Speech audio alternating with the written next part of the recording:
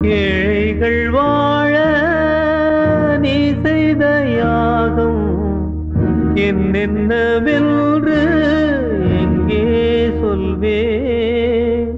அன்பாலே சேர்ந்த நெஞ்சங்கள் வாழ நீ செய்த தியாகம் எங்கே சொல்வே. இன்றைக்கும் என்றைக்கும் நீ எங்கள் நெஞ்சத்தில் அன்புக்கும் பண்புக்கும் நீ அந்த சொர்க்கத்தில் மன்னவன் காவிய நாயகனே என் உயிர் தேசத்து காவலனே. வாடிய பூமியில் கார்முகிலாய் மழை தூவிடும் உன் புகழ் வாழியவே. வணக்கம். என் பேர் ராஜேந்திரன்.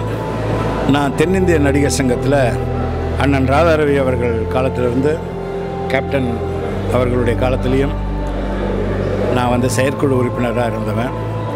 நடிகர் சங்கத்தினுடைய ஒவ்வொரு அங்குல வளர்ச்சியிலும் எனக்கு பங்கு உண்டு. நான் கூடவே அங்கே இருந்திருக்கேன். டப்பிங் யூனியனுடைய வைஸ் பிரசிடெண்ட் சின்னத்திரை நடிகர் சங்கத்தினுடைய ஃபவுண்டர் ஆரம்ப காலகட்டத்தில் கேப்டன் அவர்களால் நான் சின்னத்திரை நடிகர் சங்கத்துக்கு செயலாளராக நியமிக்கப்பட்டேன். சின்னத்திரை நடிகர் சங்கத்தை ஆரம்பித்ததும் கேப்டன் அவர்கள் தான் அது ஒரு பெரிய வரலாறு. மிக மிக மிக மனிதநேய மிக்க ஒரு அற்புதமான மனிதர். எங்கள் குடும்ப நண்பர் கேப்டன். என்கிட்ட அவ்வளோ உரிமை எடுத்து பேசுவார். எனக்கு நிறைய உதவிகள் பண்ணியிருக்காரு. என்னுடைய பசி தீர்த்தவர்.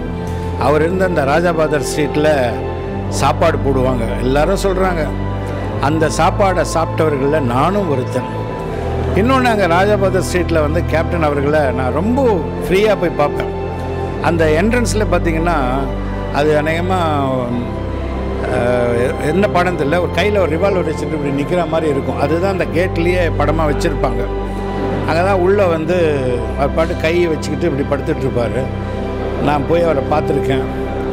எனக்கு ஒரு பெரிய அவருடைய அவர் அவர் கூட இருந்த காலங்களில் நான் பழகினதெல்லாம் நான் நினச்சி பார்த்தாலும் எனக்கு ஒரு ஆறாத வடுவாக இருக்கிற ஒரே ஒரு விஷயம் தென்னிந்திய நடிகர் சங்கம் அவரை கைவிட்டது தான் தென்னிந்திய நடிகர் சங்கத்தினுடைய கடன் அடைக்கிறதுக்காக அந்த மா மனிதர் எவ்வளவு கஷ்டப்பட்டார்னு நாங்கள்லாம் கூடவே இருந்து பார்த்தோம். ரஜினி சார் கமல் சாரெல்லாம் கூட்டிகிட்டு வர்றதுக்காக அவர் எவ்வளோ பாடுபட்டார். பாபா ஷூட்டிங் நடக்கிற இடத்துக்கு ஓடி அங்கேருந்து அவர்கிட்ட பேசி கமல் சார் வீட்டுக்கு வந்து அங்கே அவர்கிட்ட பேசி எல்லா நடிகர்களையும் ஒருங்கிணைச்சு எல்லாரையும் சமமாக பாவிச்சு பெரிய நடிகர் சின்ன நடிகர்ன்ற வேறுபாடெல்லாம் இல்லாமல் எல்லாரையும் சமத்துவமாக பார்த்த ஒரு அற்புதமான மனிதரை நடிகர் சங்கம் கைவிட்டுச்சுன்றது தான் எனக்கு ரொம்ப வருத்தம். அதை என்றைக்கும் நான் வந்து மறக்க முடியாது. சிவாஜி சாரினுடைய இறுதி உருவத்தில் எல்லா நடிகர்களும் அந்த வண்டியில் போனாங்க. அந்த மாதிரி கேப்டன் அவர்களுடைய அந்த பூத உடல் வந்த இறுதி ஊர்வலத்தில் தென்னிந்திய நடிகர் சங்கத்தை சார்ந்த அத்தனை நடிகர்களும் போயிருக்கணும். ஏன்னா அவ்வளோ உழைச்ச ஒரு மா மனிதர் கேப்டன் அவர்கள். அதை விட்டுட்டாங்க. ஆனாலும் கடவுள் இருக்கார்.